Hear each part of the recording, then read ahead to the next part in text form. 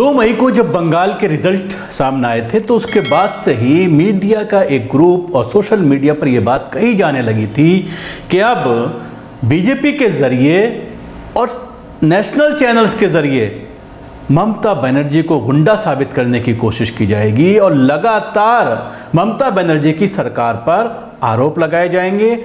उनकी छवि को दागदार करने की बार बार कोशिश की जाएगी। अगर बीजेपी की सरकार आ जाती तो सब कुछ सामान्य हो जाता, कोई किसी तरह का ऑब्जेक्शन नहीं किया जाता।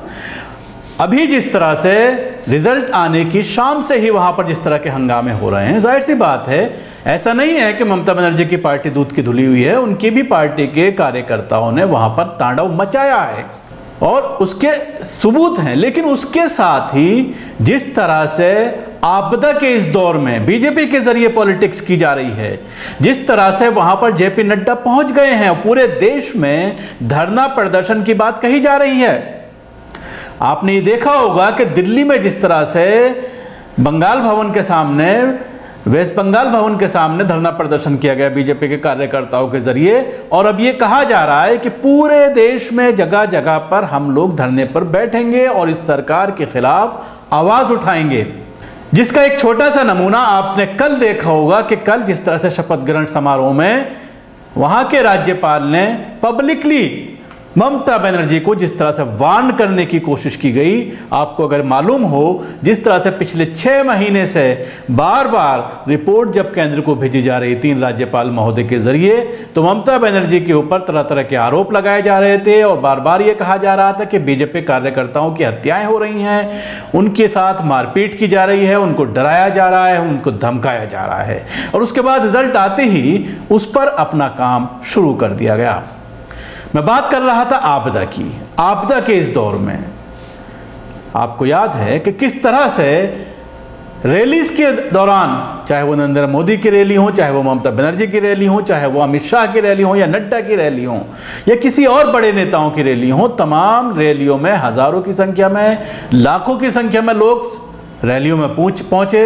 रोड शो किए गए, खासतौर से बीजेपी के लोगों के ज़रिए, अमित शाह और ममता बनर्जी के ज़रिए, या नड्डा के ज़रिए, उसमें लोग किस तरह से संक्रमित हुए और उसके बाद एक बात और सामने आई है कि काफ़ी तादाद में वेस्ट बंगाल में उत्तर प्रदेश का कैडर, बिहार का कैडर पहुँचा हुआ था बीजेपी का।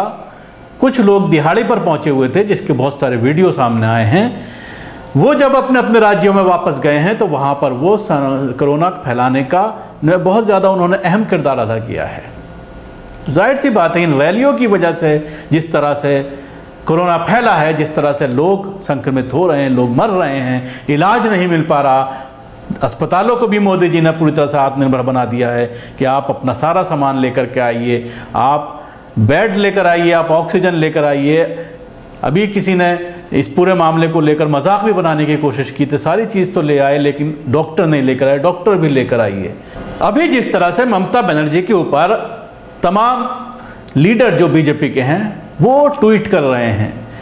और ऐसी चीज़ें ट्वीट की जा रही हैं जिनका कोई आधार नहीं है, जो पुरानी वीडियो हैं या जिसका ताल्लुक इस पूरी हिंसा से नहीं है। हम ये नहीं कहते कि हिंसा नहीं हुई है, या हिंसा में ममता बनर्जी के लोग नहीं हैं, बल्कि कुछ केसेस ऐसे हैं जैसे अभी रेप का ज़िक्र किया गया, कि रेप किया गया है। उसको लेकर जिस तरह से पूरा एक्सपोज हो गया है कि किस तरह से ये घर, सरासर जो है, ये झूठ बोला जा रहा था बीजेपी के नेताओं के ज़रिए और बड़े लीडरों के ज़रिए उसको ट्वीट किया गया बार बार ट्वीट किया गया रीट्वीट किया गया छोटे छोटे लीडरों के ज़रिए और ये बताने की कोशिश की गई कि ममता बनर्जी की पार्टी के ज़रिए रेप किया गया। कुछ दो तीन मिसाल मैं आपको बताना चाहूँगा।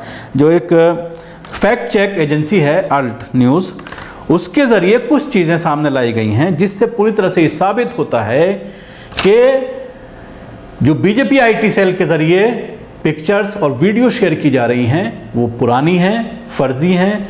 इस मामले से, इस बार की हिंसा से, दो मई की हिंसा से उसका कोई ताल्लुक नहीं। पहला ट्वीट आप देख रहे होंगे टीवी स्क्रीन पर। ये बंदूक और तलवार लेकर खेला होबे गाने पर नाच रहे लोगों का वीडियो वेस्ट बंगाल चुनाव के नतीजों से जोड़कर बताया गया। वेस्ट बंगाल में हिंसा की खबरों के बीच धड़ल्ले से शेयर किए जा रहे वीडियो में तलवार और बंदूक लिए भीड़। खेला होबे गाने पर नाचती दिख रही है। दावा है कि ये चुनाव के नतीजे के बाद का दृश्य है, जबकि ये वीडियो कम से कम सितंबर 2020 से ऑनलाइन मौजूद है। आप समझ सकते हैं कि किस तरह से ये फर्जीवाड़ा किया जा रहा है और पूरी तरह से ये एक्सपोज हो गया है कि किस तरह से इस वीडियो को शेयर करके बार बार शेयर किया गया कि खेला होबे का जो गाना है। हालाँकि इस खबर में आप तफसील से जाते हैं तो ये बात सामने आती है कि गाना भी दूसरा चल रहा है। बंगला लैंग्वेज में वो गाना है और उसको डब करके उसका गाना भी चेंज कर दिया गया है और उसको इस हिंसा से जोड़ करके देखा जा रहा है।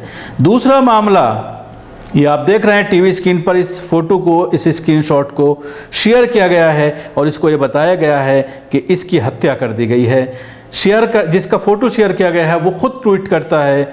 उसका नाम अभ्रो बनर्जी है। I am Abhro Banerjee living and hale and hearty and around 1300 kilometre away from Sitalkuchi BJP IT cell is now claiming I am Monik Moitra and dies in Sitalkuchi please don't believe this fake post and please don't worry I repeat I am still alive यानी जिसका photo ये बता करके share किया जा रहा है कि वो मर गया है, वो ख़ुद सामने आता है एब्रो बनर्जी उसका नाम है और ये कहता है कि मैं पूरी तरह से सही हूँ, ज़िंदा हूँ सही और तेरह सौ किलोमीटर दूर हूँ मैं जिस जगह का ये ज़िक्र कर रहे हैं कि शीतलकुच्ची में जो है किया गया है बीजेपी आई टी सेल जिसको शेयर कर रही है और ये बाकायदा ख़ुद कह रहे हैं कि मैं बिल्कुल सही हूँ, आपको परेशान होने की ज़रूरत नहीं है। तो जिससे आप अंदाज़ा लगा सकते हैं कि किस तरह से बीजेपी इन सब तरह के फर्जी ट्वीट को शेयर कर रही है और ममता बनर्जी को निशाना बनाने की कोशिश की जा रही है। अगला ट्वीट आप देख सकते हैं कि एक महिला का है। बांग्लादेश में महिला पर हमले की तस्वीर, पश्चिमी बंगाल चुनाव परिणाम के बाद हुई हिंसा से जोड़कर शेयर की गई है। जिसमें ट्वीट किया गया है कि आबरू ईशा बजाज हैं। ट्वीट किया है कि आबलू लूट ली गई बंगाल की, क्या ये महिला नहीं? क्या बंगाल की बेटी नहीं? क्या बंगाली और महिला केवल ममता ही हैं? धिक्कार उनको जो महिला और ममता का अब भी बेशर्मी से समर्थन कर रहे हैं। इसके बाद रितेश कंदेलवाल की तरफ़ से ये ट्वीट किया गया है, जो बीजेपी के ही हैं। चुनाव परिणाम के बाद बंगाल में हो रही हिंसा को घटनाएँ बेहद शर्मनाक हैं और मैं इसकी घोर निंदा करता हूँ। मेरा एमएचओ इंडिया से निवेदन है कि तुरंत संज्ञान में लें ताकि दोषियों पर सख्त कार्रवाई हो सके। इसी तरह के बहुत सारे ट्वीट जो है, इन तस्वीरों को लेकर के किए गए हैं, जिसको अल्ट न्यूज़ ने जब इसको खंगाला है तो वही समझ, ये सामने आया है कि ये तस्वीर बांग्लादेश की है और एक ज़मीनी विवाद को लेकर इस महिला के ऊपर हमला किया गया था और ये जो ब्लड निकल रहा है महिला के, सर से, चोटें जो आ रही हैं, वो, ये तस्वीर बहुत पुरानी है, कई साल पुरानी है और बांग्लादेश की है। ये बात अल्ट न्यूज़ ने कही है कि पश्चिमी बंगाल हिंसा से जोड़कर बांग्लादेश की एक पुरानी तस्वीर शेयर की जा रही है। अल्ट न्यूज़ की पड़ताल में पता चला है कि नवंबर 2020 में एक ज़मीनी विवाद में हुए हमले में ये महिला घायल हो गई थी।